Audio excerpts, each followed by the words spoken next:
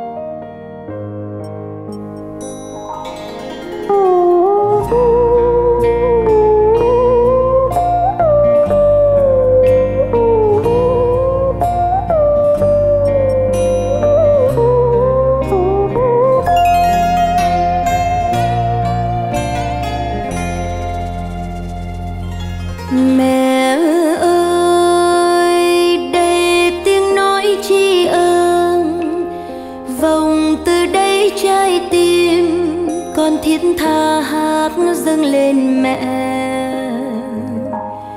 Ngày qua bước con in dấu muôn nơi, Làm mẹ lo lắng chơi vơi, Mong con về con được bình an. Ngày qua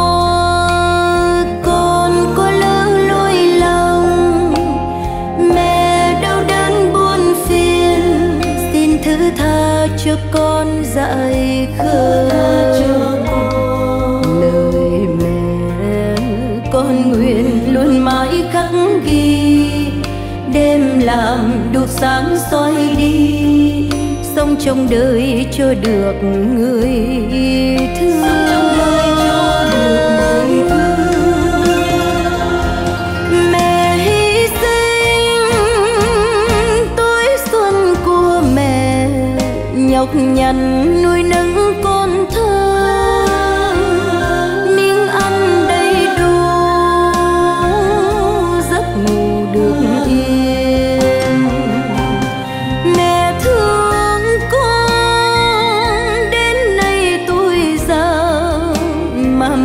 vẫn chưa yên lòng.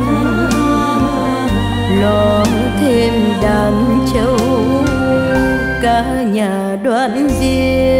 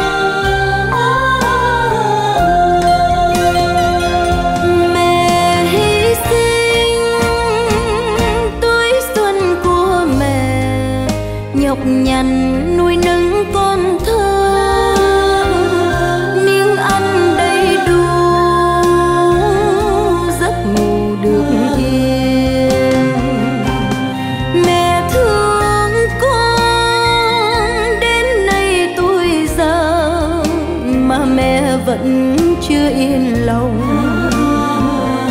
Lo thêm đàn trâu cả nhà đoàn viên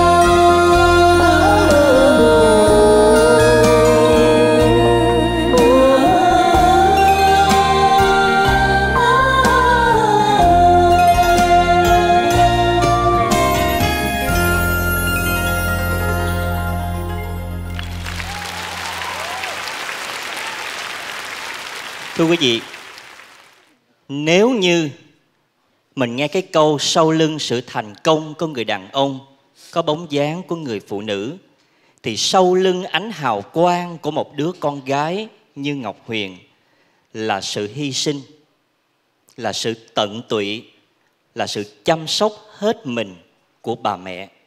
Từ lúc nàng đi hát năm 13 tuổi cho đến ngày hôm nay, chải tóc, lo lắng, quần áo, ly nước cho con gái chỉ một tay bà chăm sóc. Hình ảnh quý vị nhìn thấy trên clip trong lúc Ngọc Huyền trình diễn chính là thân mẫu của nữ ca sĩ Ngọc Huyền. Khi nói tới tình mẹ thì à, Ngọc Giang Ngọc xin thưa là dù cho ở bất cứ lứa tuổi nào trong đời sống Giang Ngọc tin chắc là người mẹ vẫn hướng về con của mình Dù là bây giờ là Ngọc Huyền đã lớn khôn rồi, đã thành công rồi Nhưng mà đối với đôi mắt của mẹ mình thì Ngọc Huyền vẫn là đứa trẻ Lên năm, lên sáu giống như ngày nào và khi mà mình lớn lên mình có gia đình rồi thì mình mới nhìn lại và mình mới thấy là tình thương của cha mẹ dành cho mình lớn lao biết mấy phải không ạ? Và khi mà những giọt nước mắt của Ngọc Huyền rơi khi mà hát nhạc phẩm này thì Giang Ngọc nhìn xuống dưới, Giang Ngọc cũng nhìn thấy rất nhiều những giọt nước mắt của các cô chú đang ngồi dưới sân khấu. Cái đó nó đã nói lên được là trong cuộc đời mình dù trải qua rất nhiều những khó khăn, dù là mình đánh mất rất nhiều thứ nhưng mà người mẹ không bao giờ mình mất được. Cảm ơn anh Thanh Tùng và chị Giáng Ngọc đã nói hết dùm Ngọc Huyền. Thưa quý vị, à, Ngọc Huyền suy nghĩ rất nhiều và nhờ nhạc sĩ Lê Minh Hiền viết nhạc phẩm này cho mình. Bởi vì khi mà tuyển lựa chương trình đó, thì Ngọc Huyền nói phải có một bài để mà cảm ơn cha mẹ. Nhưng mà thật sự ra những bài đó thì có những nhạc nhạc sĩ ca sĩ đã hát rồi. Rồi những bài cũng xưa rất là hay như lòng mẹ vân vân. Nhưng mà Ngọc Huyền nói mình đi hát 29 năm rồi, không lẽ có không có một cái tác phẩm nào cho mẹ. cho nên ngọc huyền đã kể hết những thói hư tật xấu của ngọc huyền những uh, những cái gì mà làm lỗi với cha mẹ ngọc huyền cũng kể luôn. Và những gì mà ba mẹ làm cho ngọc huyền để cho ngọc huyền có được ngày hôm nay. Cho nên anh mới cảm nhận anh viết rằng là dẫu con có lỗi lầm xin ba mẹ hãy tha thứ cho con. Bởi vì trong mắt cha mẹ lúc nào con cũng còn nhỏ dại. Và bây giờ nhân cái ngày quan trọng của Ngọc Huyền live show kỷ niệm 10 năm viện xứ để đánh dấu uh, chặng đường làm nghệ thuật của mình và cũng nhờ cha mẹ Ngọc Huyền mới có thể tiếp tục làm nghề tại hải ngoại. Con xin trân trọng được dân đóa hoa hồng, được kết bằng trái tim để nói lên tình yêu và tình kính trọng của con dành cho ba mẹ. Mỗi đêm con thắp đèn trời, cầu cho cha mẹ sống đời với con.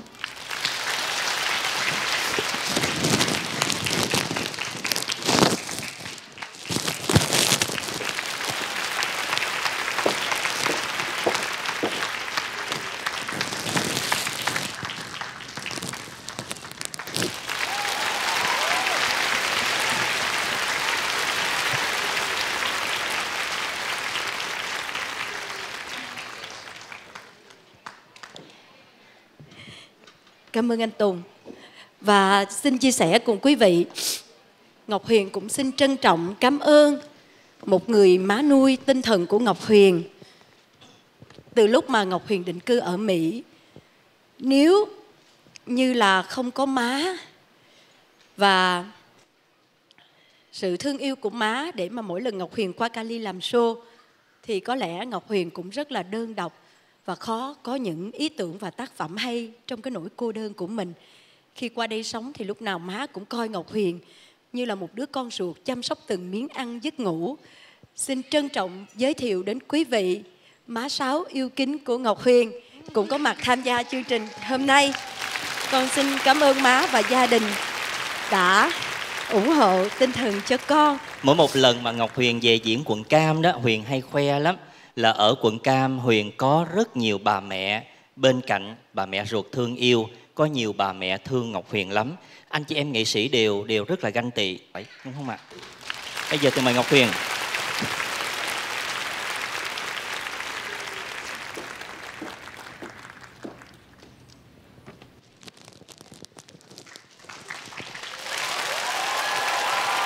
Kính thưa quý vị, phải nói là ganh tị với Ngọc Huyền bởi vì chỉ cần có một người mẹ thương mình thôi là mình đã là hạnh phúc nhất trong cuộc đời này rồi. Đừng nói chi, ngọc huyền có rất nhiều những người mẹ thương yêu như vậy, thì chắc chắn là ngọc huyền sẽ cảm thấy rất là ấm áp từ trái tim của mình cho tới con người của mình, cũng như là nguyên chương trình ngày hôm nay, phải không quý vị?